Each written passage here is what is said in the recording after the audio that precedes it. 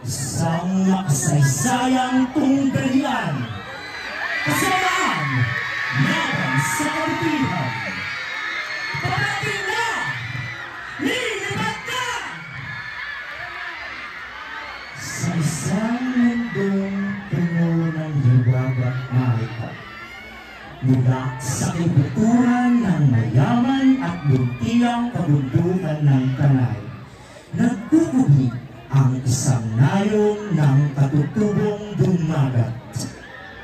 Sa pangangaso at pangingisda, sa talon ng daranak at batlag, payapa nilang tinatamasa ang mga biyaya at kayamanan ng kalikasan.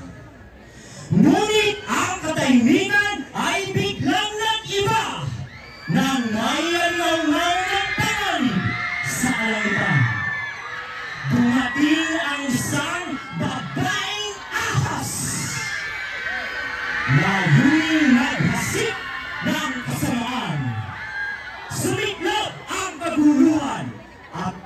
pagkawasak sa nooy payapang kanayunan.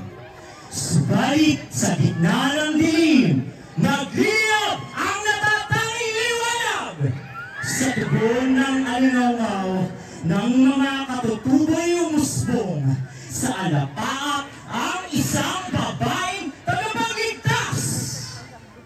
Taglay ang ganda at tapang ay susuungin ang mabagsik na tunggalian. Mananay kaya ang kabutihan laban sa kanyang mga kamay, ibinigay ang natatanging misyon. Sa kanyang katauhan, mabubuhay ang isang pambihirang nilalang.